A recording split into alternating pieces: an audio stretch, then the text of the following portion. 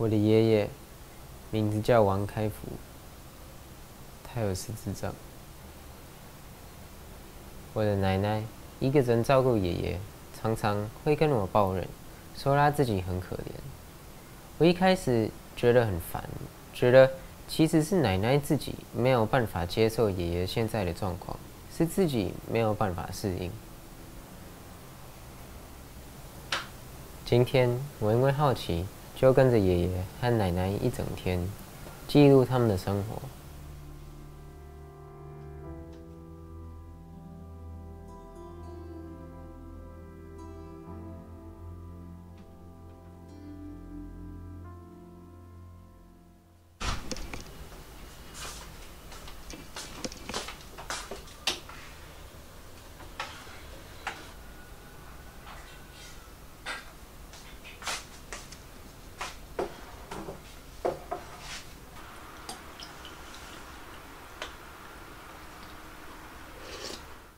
有个治疗失智症的贴片，奶奶每天早上都会帮爷爷贴，但是我觉得没有什么用。帮你换一件干净的衣服好不好？这全部都是汗，穿在身上会生病的。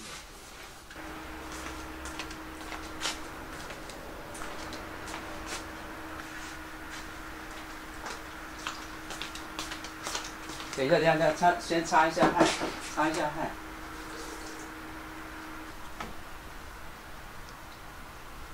有没有舒服一点？有没有？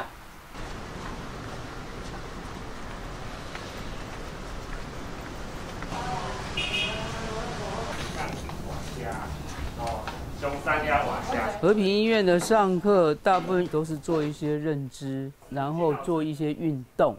那是开车呢，还是坐公车？坐公车，坐公车，大概坐多久的时间？没有，没有，特别记，没有很久。好，我们谢谢开普大哥的分享。那但是呢，他的注意力一个小时左右是他最好的时间，再接下来他就会有一点不耐烦。奶奶，他想下去。先等一下，爷爷，现在还没有下课。还没有要走，还没有要走，爷爷，爷，奶奶，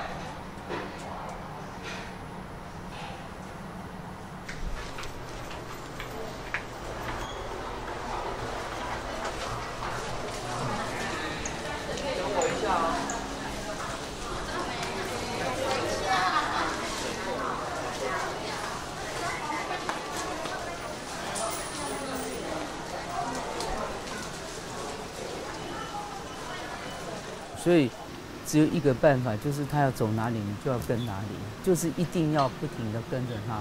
所以就直接回家。等一下再看嘛。之后呢，他要打你的过程。好。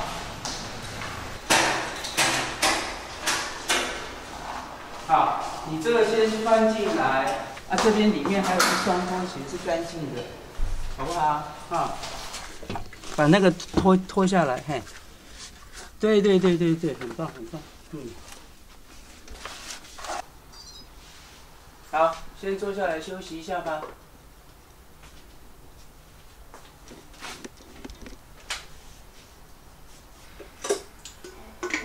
肚子是不是还有一点饿？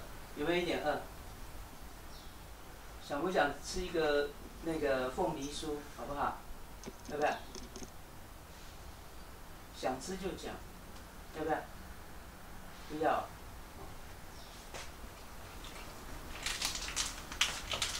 吃了，等下精神够了再去上课啊。靠过来，靠过来。哎，因为家里没有人可以打扫，我们家没有外劳。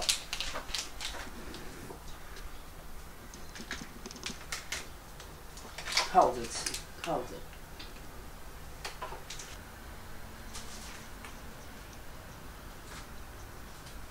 那这样爷爷又愿意去了对不对？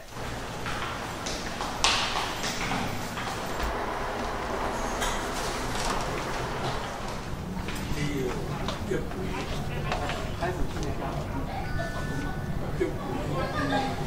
的上好玩的我是特别设计的很好玩的。但大家都还在鼓掌很好玩。你看大家玩也可以嘛，很好玩啊，好不好？老师是最棒的老师。还要让大家的心态好，还要转一下。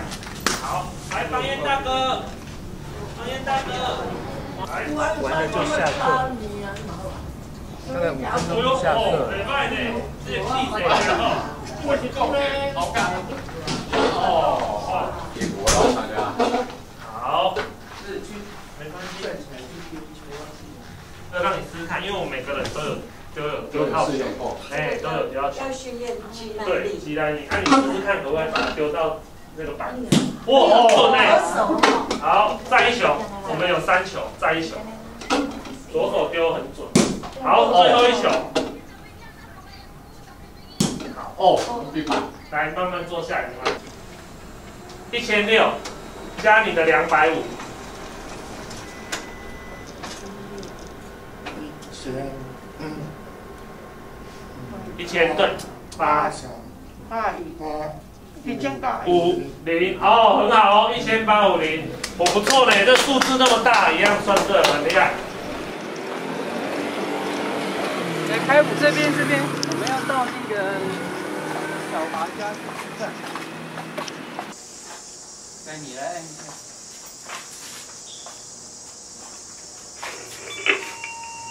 Hello，Hello。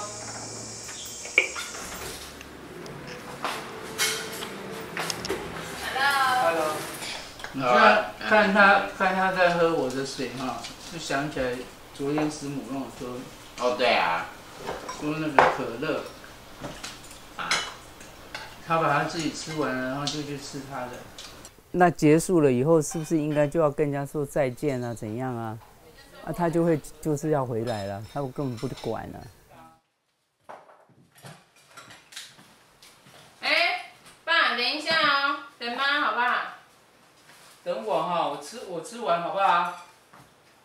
爸，你等一下妈，你在这边坐一下。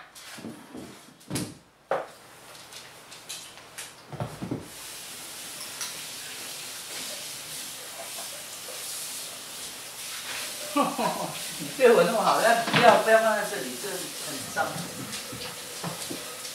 我们不要把那个脏的东西，我就很讨厌穿的东西穿出去，所以。哎，爸，等一下哦，好了好了等一下。好了，走吧。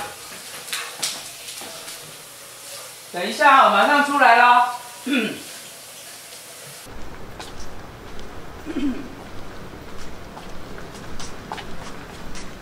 服我啊！我都快要跌倒了。你的走路要清楚，清楚什么？那、你扶我的话，不是就不用那个了吗？不是这是你的事，这样子，要跟我划清界限。你在照顾的时候，你就发现已经没有你了，你那个那个我已经不见了，完全是以他为主。然后你每一天都不知道会发生什么事，你你没有办法。好，等一下，等一下，等一下，这个鞋子脱了，我们脱在这里。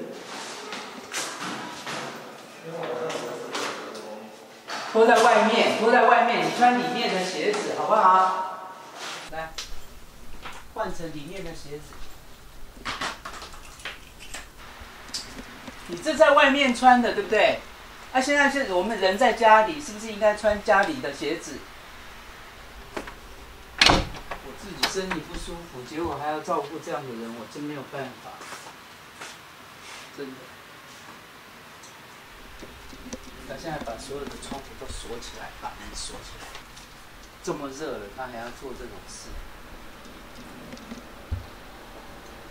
这个拖鞋是在外面，外面什么人家吐痰呐、大便呐、在地上，你刚刚这样走，一路走过来，是不是很脏？啊，那我们换家里的拖鞋给你穿，好不好？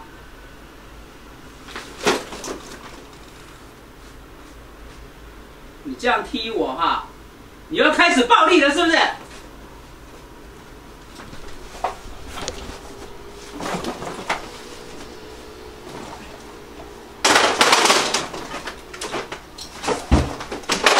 你以为我不会踢你啊？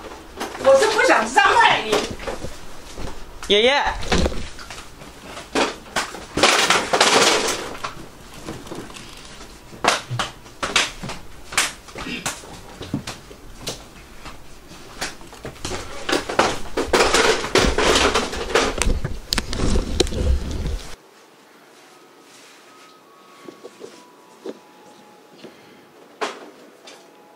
好啊，我等一下叫警察来处理哈。你这样子打人哈，叫你换家里的鞋子，你就要打人，对不对？像你这种形态，就干脆装到精神病院去算了。出去啊！你鞋子脱下来，你出去！你鞋子脱下来，出去！赶快出去！你鞋子脱下来，对，你鞋子脱下来，我就出去。你穿这个鞋子，你穿这个鞋子，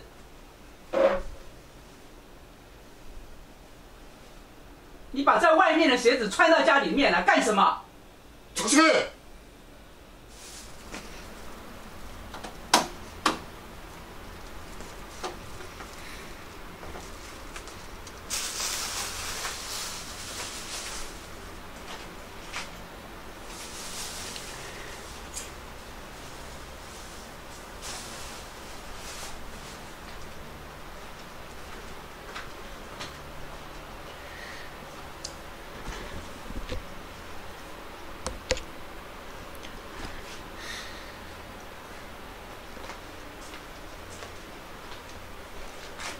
那个刚才在打的时候，你没有拿着相机，都是他一拳把你相机就拿来，所以你要小心一点，要保护自己。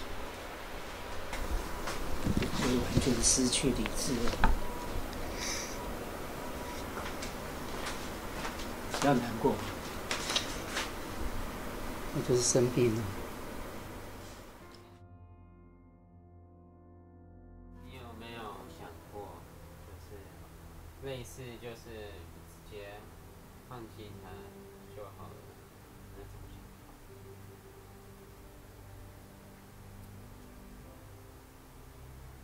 当然偶尔也是会啦，因为他做的那事情这么让人家生气，可是马上就会想到说，他可能也不知道自己在做什么啊，对不对？他完全不知道啊。医生就是说，他从从那个十一分一下子掉掉到变成五分，因为他变得变动太快了。就等于去年还是极轻度的，然后突然之间现在就变成中重度了。那这样可能你就要准备两年之内就那个了。所以这个是让我非常伤心的。现在就是要把所有的精力要集中在他的身上，那能够带他出去吃喝，或者带他出去，反正做任何的事情。我都会很愿意。